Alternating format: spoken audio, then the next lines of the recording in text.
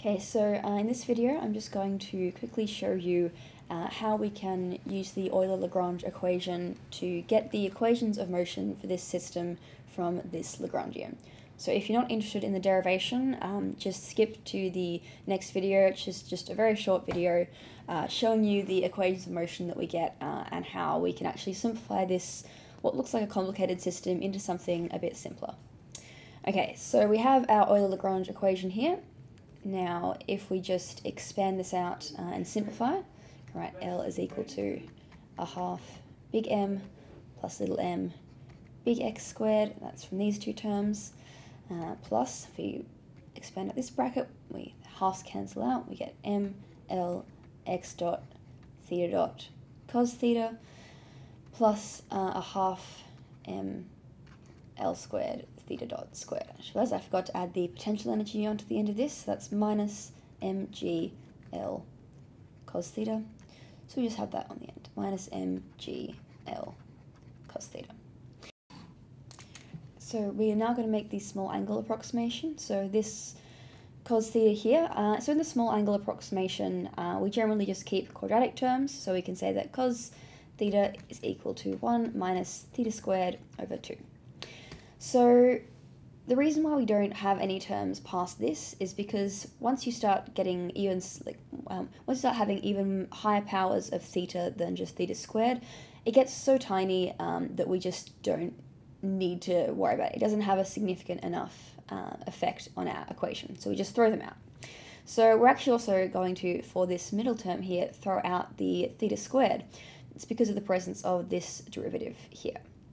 So now let's rewrite this equation with the small angle approximation, which will give us our Lagrangian is a half big M plus little m x dot squared plus m l x dot theta dot plus a half m l squared theta dot squared minus m g l 1 minus theta squared over 2. Okay, so now let's do our Euler-Lagrange equation. So our Euler-Lagrange equation is uh, ordinarily given in terms of q, right? But you can see here we have these multiple uh, coordinates here. We have x and we have theta. So it is simply as simple as just having two equations, one for x and one for theta. So to solve the Euler-Lagrange equation, I need to know uh, dl dx, dl d theta, and dl d theta dot, then like the derivative, of all that with respect to time, and the same thing with x. So let's start off with our x's. So and let's go dl dx. So you see here, there's actually no x in this at all. Convenient. So we just have to write 0. So now if we write dl dx dot, not quite as simple, unfortunately. We go, okay, well, here's one. So this becomes m plus m x dot. And then here's another one, so plus m l theta dot, and then there's no more. So this is our equation for dl dx dot. Now we have to find the derivative of this with, respect to time, so d dt, make that a proper d, of dl dx dot is just, this remains constant and this remains constant, so this is just m plus m x double dot, because we're taking the derivative of this twice now, plus m l theta double dot.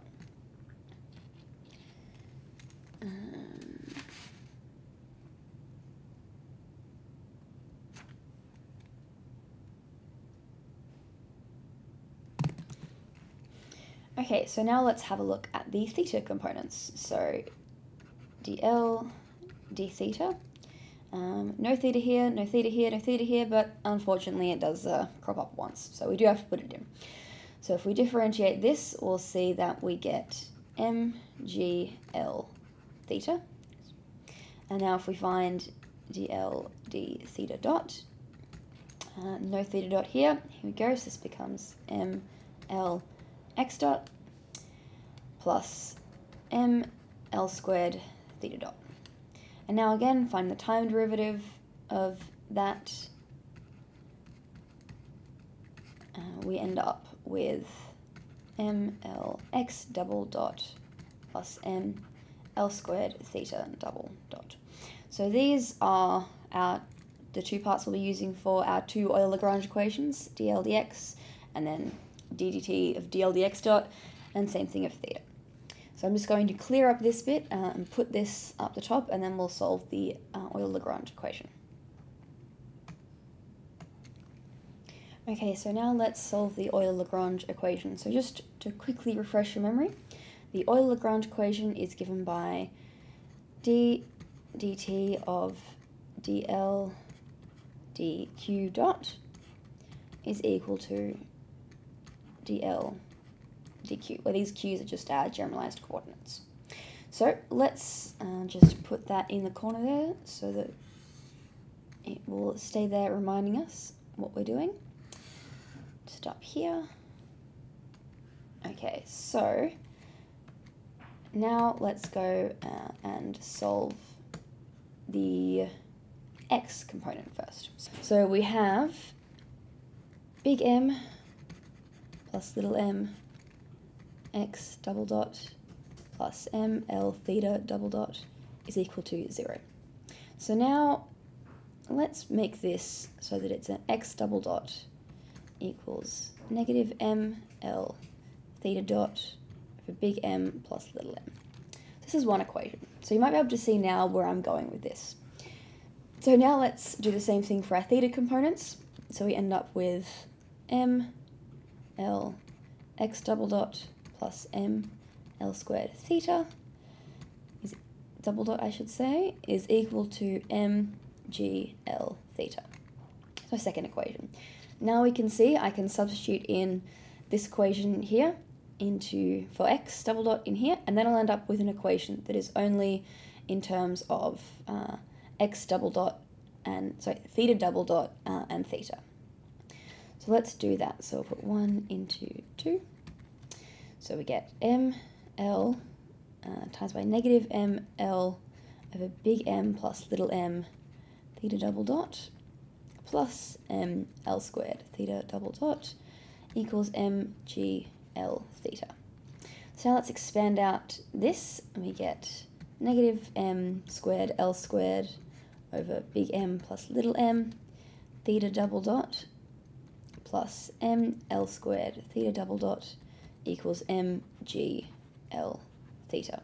Okay, so now let's uh, simplify this. When we simplify it, uh, we end up with big M, little m, L squared over big M plus little m, theta double dot equals little m g l theta.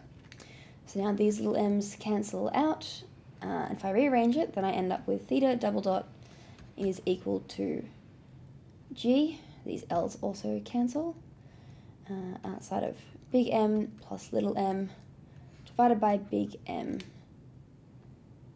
uh, L times by theta. So this is the equation of motion under the small angle approximation for this pendulum. So I'm going to quickly um, change, show you in the next video uh, what this actually means, uh, and then that'll be it for Lagrangians.